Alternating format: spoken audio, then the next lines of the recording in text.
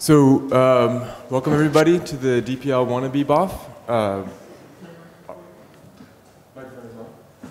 it's on. Um, our uh, facilitator, uh, moderator here is Stefano Zacchiroli, the DPL. Okay. Thanks. Thanks, Daniel.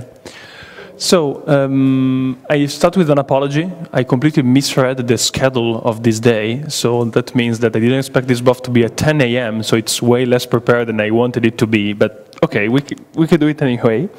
And the idea of the BoF was to actually, well, try to dispel some myth about the job of the DPL. I think we know in general in the project way less about what the DPL do than uh, what we should know and uh, also to ask you for a review of, okay, oh yeah, hi everybody. So the idea was to share some experiences among uh, past DPLs, and now I can use the plural, given that Steve has arrived, and uh, people who are interested potentially even in becoming DPLs, explaining a bit what their role is about, and also ask you for a sort of a, a review of the especially of the communication stuff I've been doing and how I've been doing that in, to see what we can improve. So the, I guess the, the first message on, the, on what the job of the DPLC is about, which I want to share, is that it's way less about changing things than how it is about you know, um, doing routine stuff in the way you, you, you see fit. So I, I remember having read a lot of Bdale, you want to come on stage? Steve, you too. You know, that's an advantage of being DPL. You can call the all DPL on stage and they will come. that's the one true power of DPL. yep. So yeah, my, my fir the first thing which surprised me a bit when I became, in the first few months of being DPL is that I was a, I had idea proposing my platform to change a lot of stuff, but actually the actual amount of work you need to put in day-to-day -day activity is way more than you can expect. So uh, you will receive a lot of requests to moderate conflicts, to uh, press inquiry, to interviews, and a lot of this routine work, which is actually a lot of work, and uh, in, in, in, essence can uh, reduce a lot the time you have to actually change things. So my first suggestion is that if you're planning to run for DPL, well, you need to have a, a good workflow to deal with day-to-day -day activities before you think about what you want to really change in Debian. So just a quick poll. Who, is, who in this room have ever thought, even for a moment, and then forget about it, to run for DPL? That's good enough. I thought you, I would have seen no ends at all. at least one of them yes. So, um, so you should have a good election this year. You should have, you should have a good election this year. So, um, Ian, we've run out of chair. no, come on.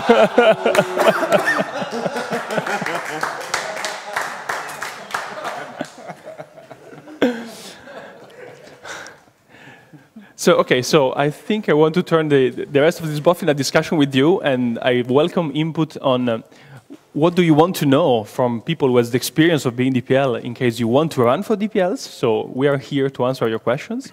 But also in particular, I want to, you to think about the relationship among the DPL and the project and think about the kind of communication I've been doing and we have been doing, if it has been transparent enough or not, and what we expect more from DPL than what we have actually got. So we're open up for questions, comment on this stuff, and all this.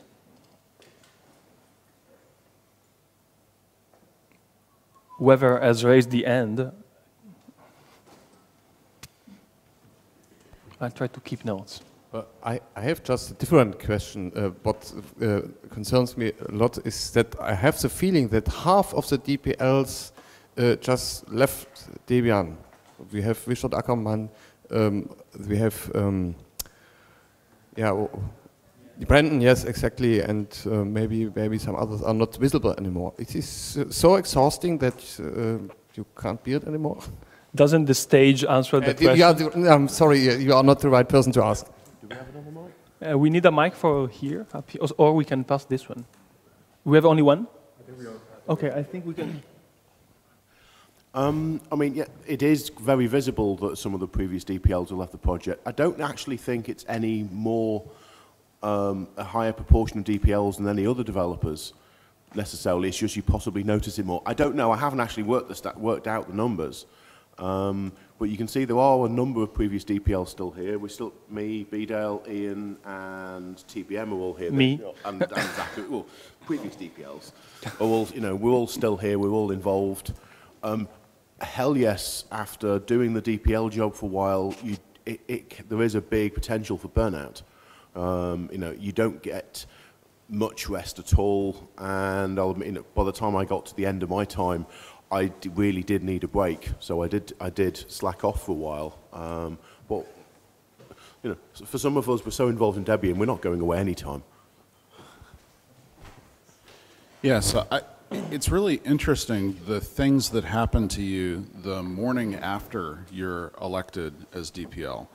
And I had an interesting conversation actually with Branden Robinson right after he was elected DPL. And part of the reason was that I was about to give a talk about Debian at uh, Linux Conference Australia, and since he wasn't able to be there, they expected me to be able to report a few words from the new DPL. And so he and I had a conversation about this, and his sentiment was exactly the same one I had had immediately after becoming DPL, and it was this incredible sense of responsibility. And the reason for that is that I think all of us who have been involved in Debian for a long time, and even those of you who have not been involved for a really long time, understand just how significant this project is in the grand scheme of the free software world.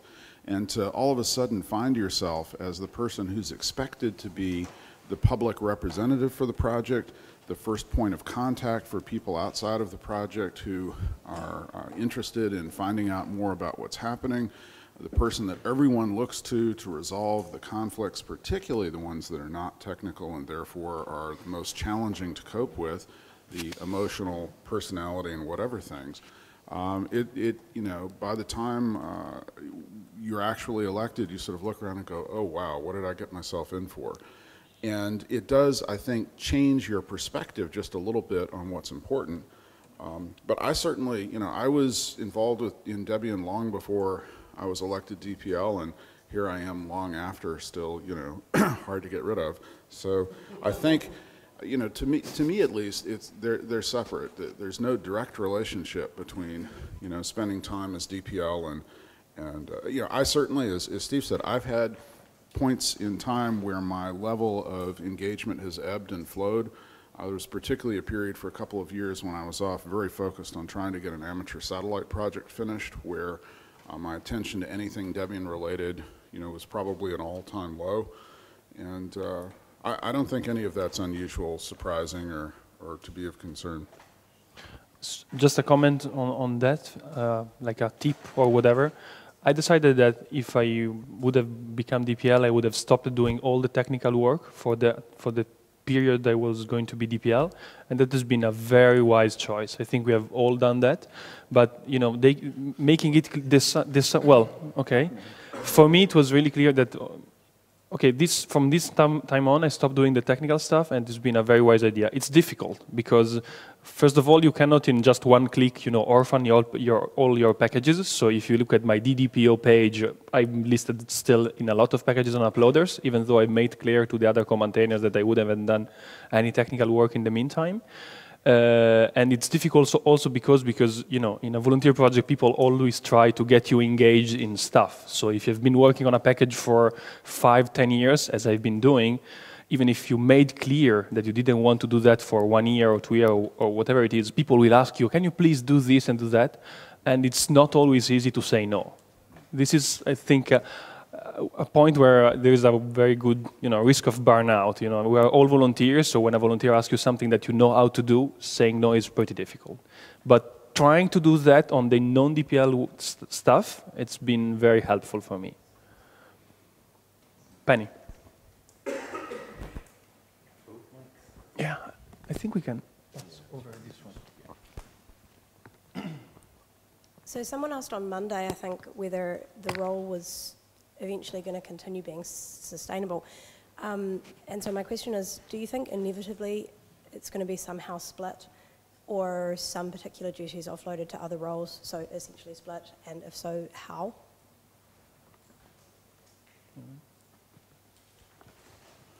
Um, as far back as maybe, was it DebConf in Helsinki? I think um, I led a discussion there about this notion that maybe the job had become too big for one person and we ought to consider, you know, even the possibility of some sort of a constitutional change to, to going to some kind of a, a, a ruling board or committee kind of structure or something. And then there have been experiments with that. I mean, Steve was sort of on both the, the, the leading and following side of the uh, idea of a second in charge kind of uh, mechanism to try and share the workload some. I think Zack's actually demonstrated what all of us probably knew, which is that, you know, the DPL's always had the power to delegate things. And if you are capable of making that sort of mental leap to, I don't have to do this all myself. There are lots of other people around here who want to do things, and I just have to pick a few, you know, victims. I mean, volunteers to to assign things to. Um, it's unclear to me. It remains unclear to me whether there's actually a better structural approach than the one we have, or whether what we just need are people as DPL candidates who use the word we a lot more than the word I. So I think there is these two moments in which you can think about splitting tasks. One is going up front and saying in a platform, you know, I will like to, to work with this, this, this, and, th and this person. And this is something which I don't think is particularly fair because after all, the constitutions put the responsibility on one person. Here, you replaced me before, you can do it here There it is. But what I would like us to try out is actually to have some sort of committee or board of, of directors or stuff like this, which is independent from the DPL elections, but is there to actually help out the DPL. So if you look at the governance of more um, young software, free software project that uh, you know that exist at the time and uh, that exist right now, you see that most of them have uh, some sort of board of directors, and those boards actually have stuff like periodic public meetings, like once per month, where they review what is what is in need of being, of being done, and they go through it, they welcome questions from people, and all this kind of stuff. So this is something I think we should try, but it's not clear how to go there. So ideally, it should be something like uh, the DPL send a call for uh, volunteers, which are people interested in helping out with DPL tasks. These people show up, get delegated in some way. Maybe we give them some sort of governance, which election, internal election, some type, stuff like that. And those are independent from being the DPL. They're just there to help the DPL. And I think it could be also a good place where to learn more about the task which usually the DPL deals with, and also to be more transparent. Because you know, if you're up to have every single month a meeting where public meeting, well, it can be a way to you know be more transparent about what is going on than if there is only one person doing the job.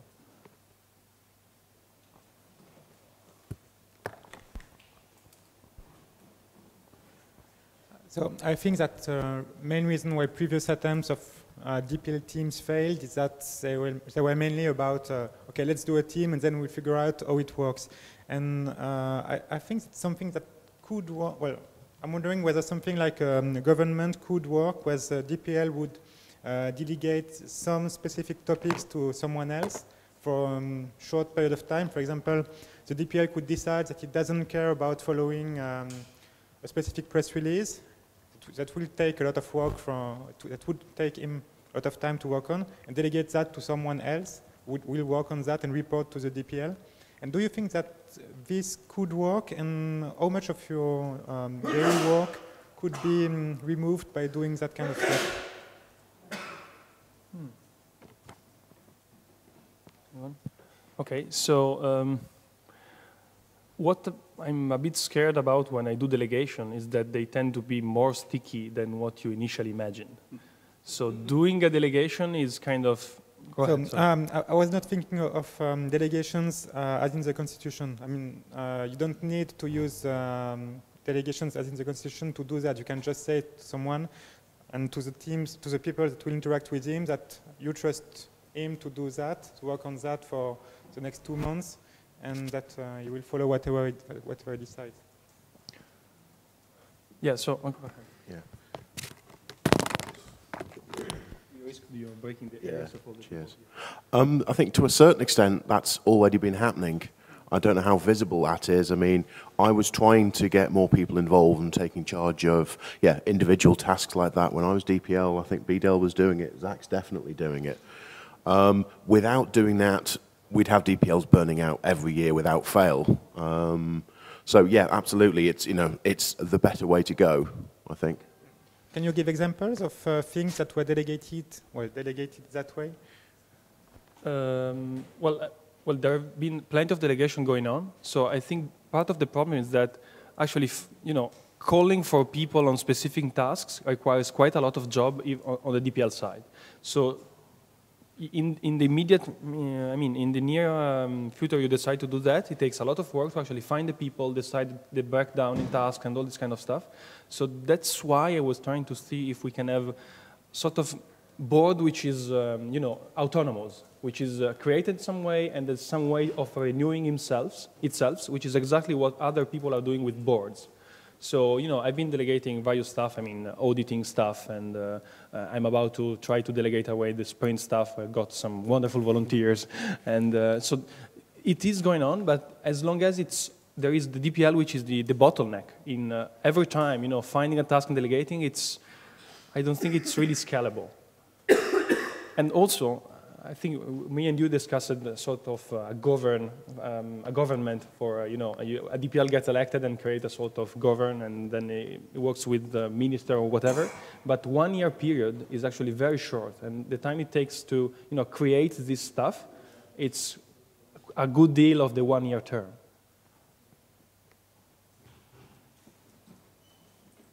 We appreciate if people can take notes in this DC11 DPL wannabe Gobby document.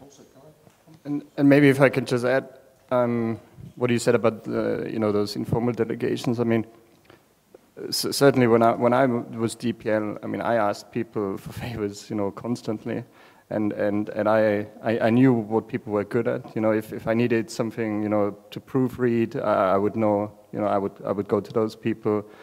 You know, if if if something else needed be, to be done, I would know someone else who I could ask. So uh, you, you just don't see those those things because we you know we don't talk about it. It's like a small thing. You know, can you can you proofread that press release or can you uh, you know do you know that small thing? But but I mean, uh, everyone who knows me, um, I'm sure you have been asked by me for some favor over the years. So you know that that you know goes on all, all the time. Just a return of experience. So I've been, for instance, asking uh, even a bit more heavily in, in the second term. If people is interested in helping out with DPL task and want to sort of learn the job, come to me, let me know, and I will be happy to, you know, show sort of to-do list and, or, and you know, outsource to you some tasks. Two people have replied to that, and I've shared specific tasks, but in the end, nothing has happened yet. So it's kind of difficult to do that, and I think it's a problem because we, we have people that decide to run for DPL last minute without having a bit idea of what is going on, and it's not particularly good for the project, I think. So I don't know if you were imagining um, like every DPL bringing in their, their, their own team, a bit like, say, say, the American government. I don't think that would really work for us for two reasons. One is the one year thing that, that's been mentioned, but also in Debian, we, we tend to create roles and then people stick with them often for much longer periods of time. And that's actually healthy because it means you get people who know, have some idea what they're doing. Um, that does mean that the DPL doesn't really get to sort of, they tend to inherit all the people who are doing everything from before. And um, that, I think that's probably healthy as well because it means that the DPL doesn't have to, yeah, that, that's one more thing that's not on their plate. Almost like a civil service.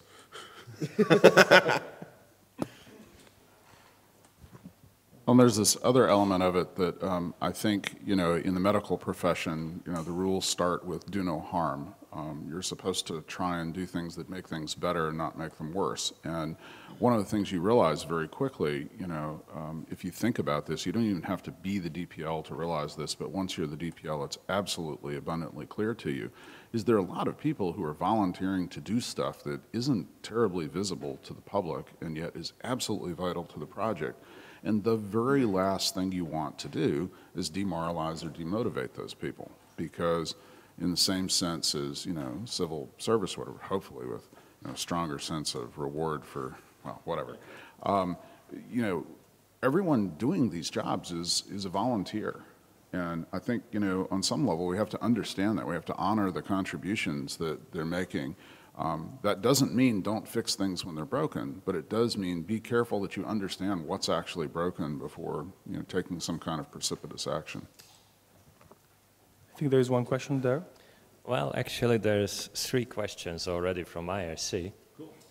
Uh, the first one is, one moment, please. Please say we have volunteers for DPL election next year already. well, the first, the first question was that was the email address always leader at debian.org? Because uh, it sounds a little bit military-like. And uh, okay, I, I, guess that Bdale knows that. You know, there's a point in history where the, the uh, new maintainer process was waving and smiling at the right person. There was a point in history where we did uploads to the archive without using cryptographic signatures on the uploads, uh, where there was a single login to the master FTP server that had a shared password. I mean, you know, history is full of all sorts of things like that. Uh, there's certainly no military intent here. Um, you have to pick some token and in this case, our Constitution refers to the elected person as the Debian project leader. So the word leader comes entirely from that and not from, you know, there's, there's I, I think, I think, you know, in hindsight, um, calling this person the leader has had some interesting, uh, you know, connotations in, in that regard. I don't know what else you would call this role, but um, it, it's, it's, uh, yeah, so, so, I'm responsible for, for this. Um, uh, the, at the time, at the time when I when I wrote all this down, um, we just had Bruce disappearing off, um, and we really did have a, a, leadership role that was somebody who thought they could tell everybody what to do. Um, it, I admit, it didn't occur to me to call the job something else. There is an advantage, and we, having called the job the leader. Um, you know, has to be something at Debian.org. Leader is the obvious thing to call it. The leadership role in Debian is, is, is, is really very weak um, compared to most leadership type roles because the, the authority is fairly limited. But on the other hand, you do have an enormous amount of credibility, uh, which is useful both within and without the project. You're really the only person within Debian who's got a broad elected mandate. And so that means you can stand up and you can say, well, all of these people voted for me, so, you know, in some sense, I represent them all, and you, you, you should do what I think you should do because everybody else thinks so too, effectively. Um, and the other thing that's really useful about this as a term is that it gives some handle for the rest of the world to talk to us. Now, one of the, I mean, we've not talked about that very much, but, and it's not officially in the list of jobs, but anybody who wants to talk to Debian really you know, if, if, you're some journalist from a trade rag, you've got really no idea what's going on. And having somebody who's called a leader, who's got a fixed email address, gives you somebody to email.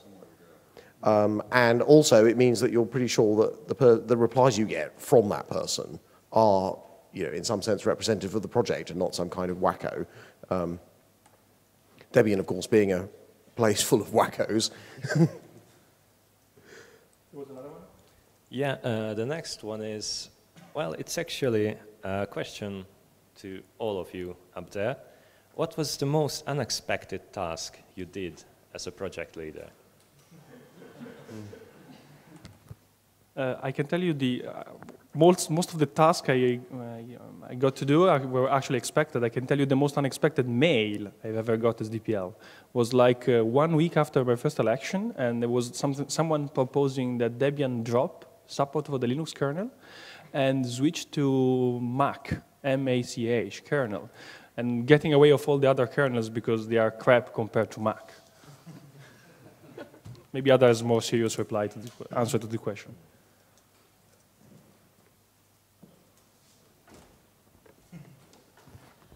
Um, you know, it's been a number of years now, and trying to remember details is not always easy. But I think the thing that I was the most surprised by generally was how much interest there was in having me go to various places around the world to talk about Debian.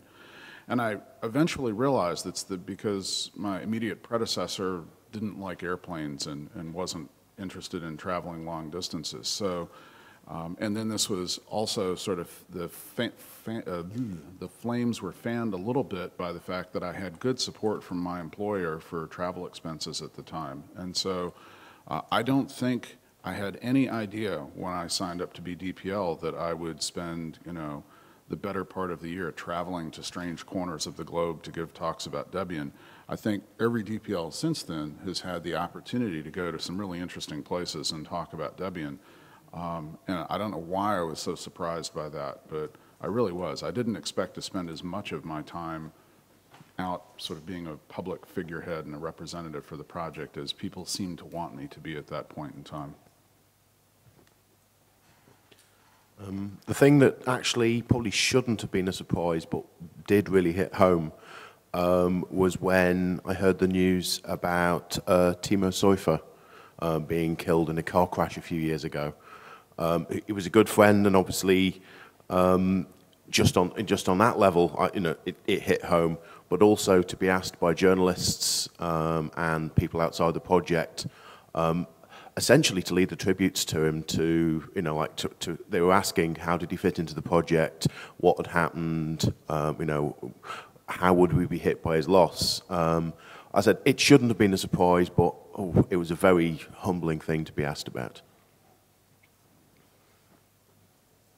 Yeah, um, I was really surprised to discover how much external interest in Debian there was from people who really didn't understand it at all, and to find myself the contact point for all of those people, and that took up the majority of my time, and I found that quite difficult actually. But I'm, I, I can't remember anything like specific uh, at the moment. But but I, I think like as a general theme, one thing I, I guess I found unexpected. Um, I mean, I was expecting a lot of work, but still, um, something you don't see. And and you know, we, we have had people complaining over the years that the that the DPL is not you know transparent enough.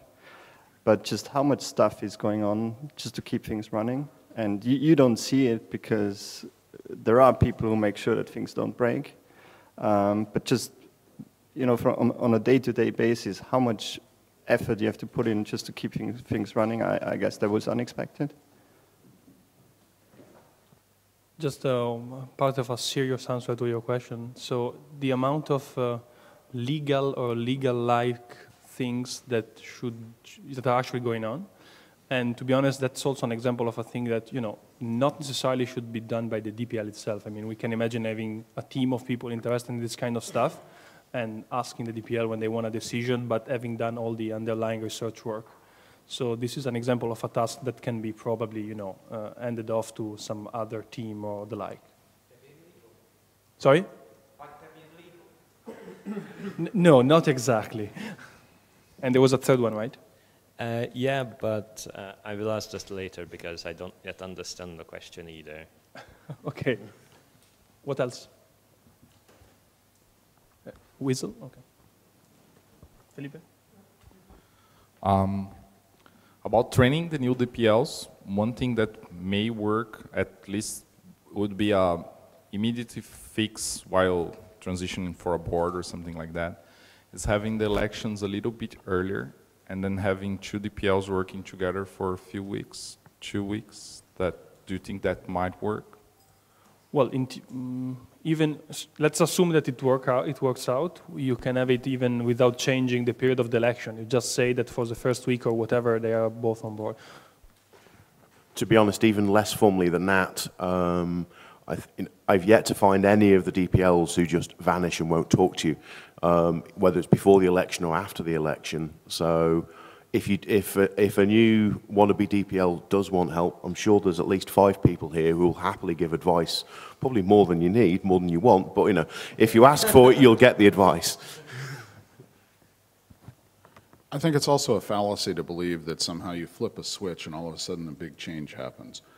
Um, Martin and I were talking the other night, I guess, um, over drinks or something, about the fact that um, when he took over after me, I had already made commitments to travel to various places to speak about Debian, you know, at different conferences for maybe six or eight months into the future. You have to because you have to plan these things, and the conference organizers want a name and a photo to put on the, the program and, and so forth. And so even just on that level, there's these tend to be sort of soft transitions, but I can't remember any transition between DPLs in the history of the project really that didn't involve a lot of overlap, a lot of communication, a lot of advice and guidance. And, uh, you know, I certainly personally feel really privileged to have been asked questions by and had the opportunity to provide some advice and guidance at one time or another to everyone who's ever been project leader all the way back to, to Ian Murdock even, so. And then I've got an anecdote from uh, DebConf three years ago. I remember getting into an elevator at the conference um, and meeting up with Margarita, uh, going down to breakfast, where she told me that morning she'd had a nightmare and, she and she woke up believing for a moment she was the DPL.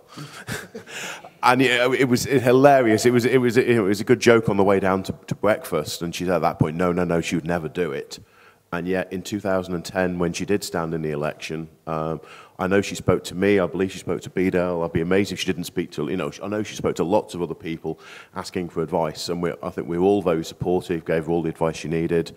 Um, we got a great DPL. We, we, we could have had a different great DPL, and I hope she'll stand again. And, you know, obviously, I'll, we will happily support anybody else here who, who, you know, wants to volunteer for a really, really big job.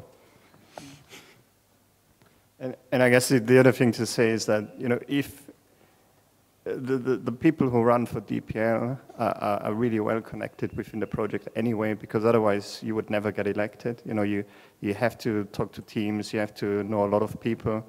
Um, otherwise, you know, you don't have a chance being elected anyway.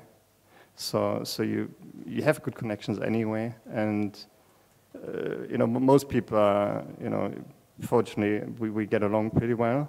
Um, so, yeah, I think it would be nice to see some more like documentation and, and some more like written down, like some, some of the experience, you know, to be written down.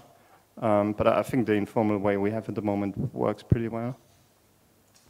So some of you mentioned that it took you quite a while to get set up in your new role. Do you think Debian as a whole would benefit from maybe electing the leader for two years instead of only one? So um, there is, pro I think it would, but it's also quite risky. So I think we have briefly discussed that, uh, starting from an input by AJ in the, oh, sorry, in the past uh, DPL um, elections. And so the point is that yes, so there is a setup time, and also there is uh, some commitment you make, like as Bdale has mentioned, you, you, you make commitment with people, and you say, okay, I'm gonna talk there, and also it takes a while to, you know, get to know people outside Debian you need to interface with. Can be GNU, can be FSF, can be GNOME, can be whatever big project which want to be in touch with Debian in some way. And at that level, it really gets personal. So it's not that they talk to you just because it's your role, but maybe they go along with you and they will not go along with someone else. So yes, there will be an advantage, but it's also risky because uh, if a DPL goes missing in action like uh, six months after the election, then you have a one year and a half in which he, he might be not, or he might not be very active. So what we have mentioned is giving some easy, you know, exit way at middle ground or something. Like uh, uh, people can call for an election or you can stand down some easy way, I don't know. I think we did at some point shorten the time periods involved with the actual election process. I remember a long, long time ago, we started with, I think, three week chunks or something, so the entire process ran sort of nine weeks start to finish. And if you think about it, that's a fairly significant fraction of a year, um, particularly, you know, you, you, because that's a period of time during which people who are candidates for DPL, I think, think even more than usual about the things that they're going to say publicly, who they might upset with various positions or actions, and whether it's really what you would like or not. Um, the time period of the election itself often ends up being almost a quiet period for the DPL where things don't happen as publicly, visibly as, as you might hope. So I, think one of the steps in the right direction was doing that. Um, I, I've always had sort of mixed feelings about the timing thing. I certainly felt at the end of a year that I wasn't done. And um, it, it would have been nice to have had more time to, to do more things, uh, not to take anything away from Martin, because I think he did a, an excellent job too. But the flip side of that is you still haven't gotten rid of me. Well, yeah, but, but I was just going to say, you know, you're never done. So, you know, there's always something to do. Yeah. Yeah. So, I I'm, didn't have the experience of standing for re-election um, because I basically decided not to. yeah, exactly. Um, certainly, some of our past DPLs have made that look very easy, and um, what I want to know, really, I suppose, is whether it actually is easy. If it is easy, then we don't really have a problem there. You can just stand for re-election. Well, yes, you have a point, but still, even when you stand for re-election, the, the campaign period is uh, some quite some work as well. So you know, preparing the platform, answering questions. Um, so competitive this year. Uh, this year, but, and still, even this year, it, it, took me some time anyhow because you know, and then people ask for interviews and all this kind of stuff. So you're right; it's not a, such a big deal, but it can be some, somehow more efficient, I guess. Yeah, uh, the third question from IRC, I just read it as it is. Uh, so this is my first virtual DebConf. I followed a lot of talks, listening and reflecting shows me a big focus on developers in the sense of contributing code. My personal experiences are coders are really bad at marketing, even marketing their own software, uh, management skills, and so on. Yesterday, I listened to the financial uh, management accounting talk. Is Debian aware that for those areas you need people with special skill in management, accounting, and so on? And uh, does the DPL report regularly uh, on his done work? Is there a handover of the business dealings from DPL to the next one?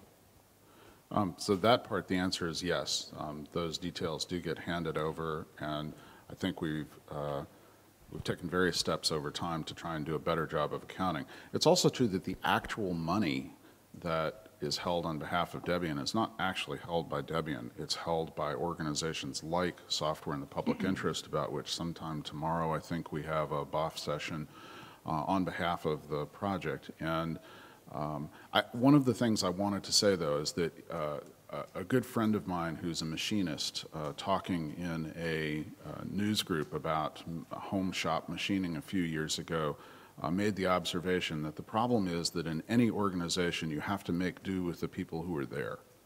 And what that means is that um, while as a project Debian understands that there are different skills and different roles and lots of different people uh, with different interests coming together is what makes this thing uh, so powerful, at the end of the day, the people who actually are willing to do things for Debian are the ones who are available to do the various jobs.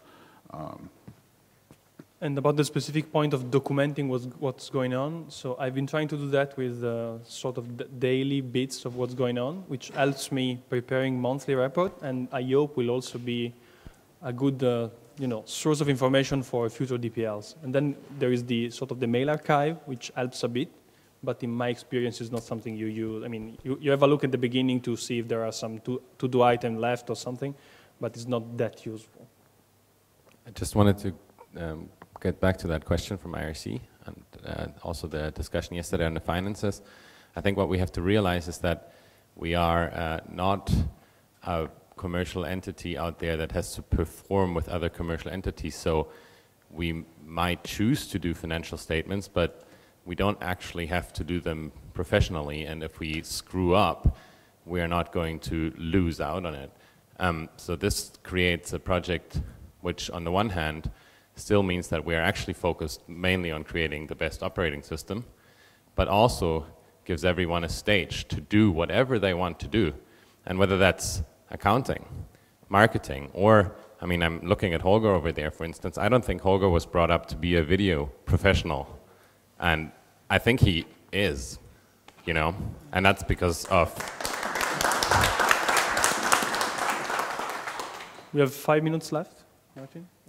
No, if, uh, I was just going to comment. I mean, I, I think one thing that, that people also don't realize is that a lot of people in Debian are actually not programmers. Um, I mean, if, if you look at the, the, the, you know, what people have studied, I mean, sure, a lot of them have studied computer science, but not everyone has. Um, and, and I mean, I, I agree, we need more skills. I've always been someone who's always told people, you know, don't package, you know, we have, you know, thousands of people doing packaging, you know, you, you have to do something else as well.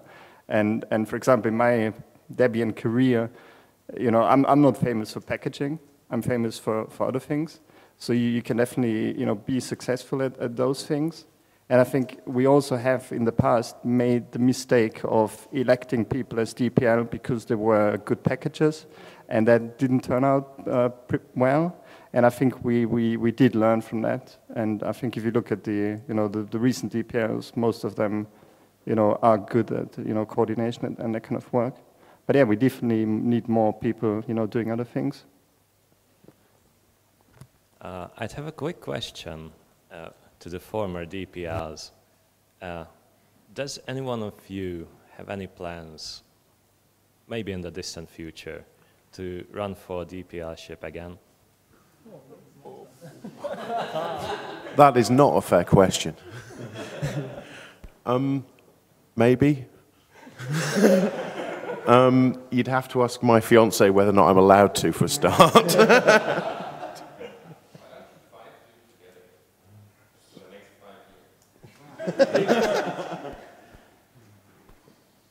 so I, I certainly don't have any plans to, but that depends on, you know, like any situation in Debian, you, you go and, and do work where it seems the work needs to be done. And at the moment, um, I don't think that the role of DPL needs my input.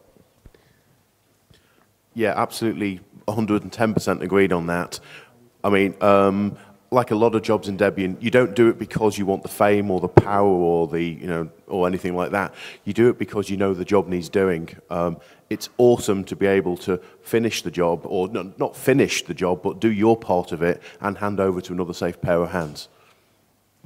So I rely the answer from Bdale and TBM. They're both thinking about running again next year. And we go ahead with Andreas' answer.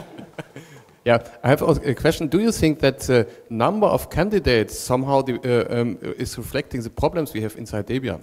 I remember one election with 10 candidates, and I remember one election with only one candidate.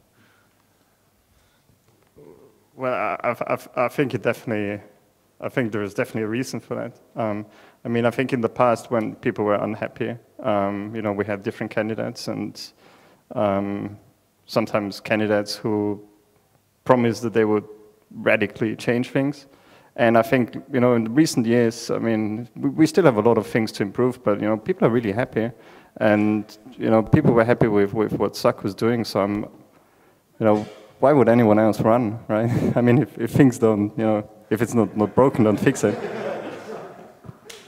I think it's also worth pointing out that the fundamental uh, themes that have been part of the various platforms for DPL candidates over the years have all sort of coalesced and converged. We really, if you look, even not just this year, but if you look back a couple of years, there are themes that come up over and over again. I'll be more open about communicating. I'll do more things, uh, you know, publicly. I'll, I'll delegate more work. They, these are all excellent themes, but it's really been a long time since we had any feel or need uh, for any sort of fundamental change of direction. And in this sense, uh, I would be surprised if there were lots and lots of people who thought that you know there was a, a, desperate need to go you know be the person who who tries to to to, to lead or, or something through that process.